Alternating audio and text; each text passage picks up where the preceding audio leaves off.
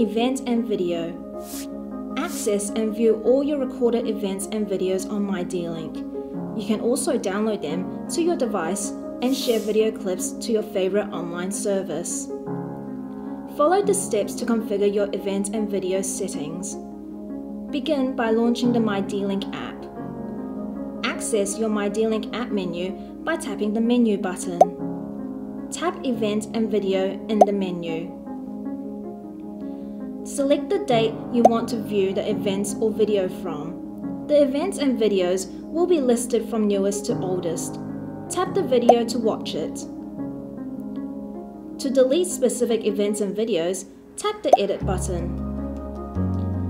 Select the events or videos that you wish to remove. Tap Remove to delete them. Sorting through your recorded events and videos is easy with mydlink.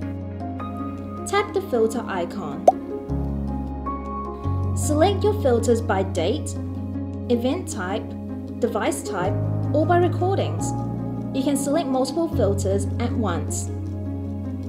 Tap Checkout to apply the filters. The results are shown in a detailed timeline.